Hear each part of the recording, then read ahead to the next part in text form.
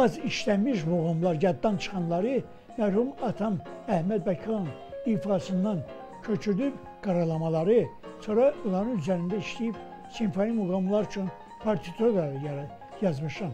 Onlardan birinci Nəvadır. Onu mərhum anam Məsuma xanıma həsr etmişəm. Sonra Rahab muğamı, deməli, e, Abbasova Bakıxanın 200 illiyinə həsr olunub. Şəhnaz muğamı Dahi Füzulinin 500 illiyinə həsr olunub. Humayun mənim rəhmətli qızımın təşəbbüsü ilə Xocalı faciəsinə əsr etmişəm Humayun. Yəni qəmgin muğamda olduğu üçün. Sonra axırıncı da Dügahdır ki, çox az işlənmiş muğamdır. Onu da mərhum atam Əhməd Bakıxanovun 120 illiyinə həsr etmişəm.